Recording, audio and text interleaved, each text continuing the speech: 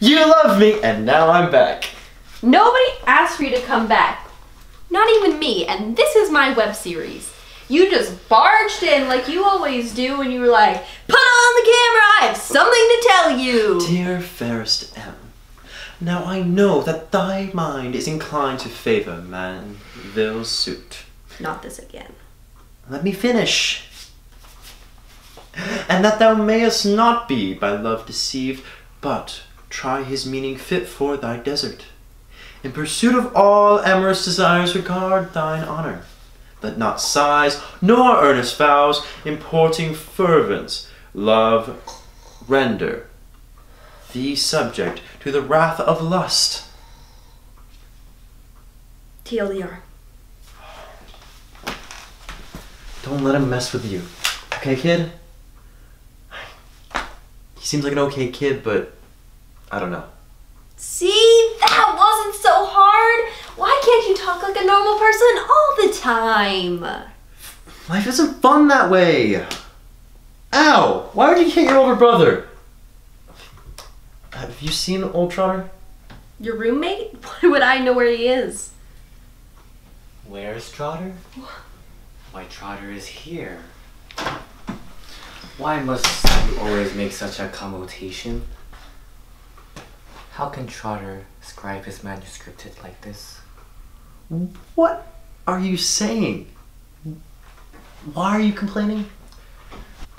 How can Trotter scribe his manuscript with all these young scholastic cars always running in and out of this here dorm hall? Alright, we'll keep it down. I understand. I'm sorry. Look, we'll partitionate a room. It pays to keep me on your side. And by your side, I mean her side.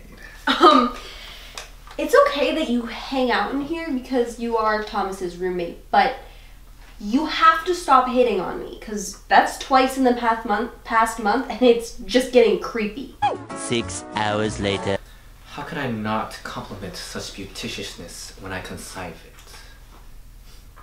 Though such beauticiousness is marred by labor and labs and solving such mathematicious problems.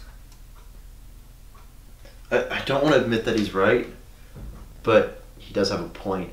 What? You have been spending a lot of time studying for math and biology. I mean, take a break. I'm worried it's taking a toll on you. See? Even your brother agrees. Oh, look at the time. Trotter must go to pick a research topic, devise a hypothesis, pick my sources and research the thoughts, and revise until it's fit for an A. He hasn't even chosen a topic. It's due tomorrow. And he's been working on it for two weeks. what? Anyway, um, so that was a lot, viewers. Um, I guess we'll just leave it there for next week. We'll just all think about what has just happened now. For just think it through.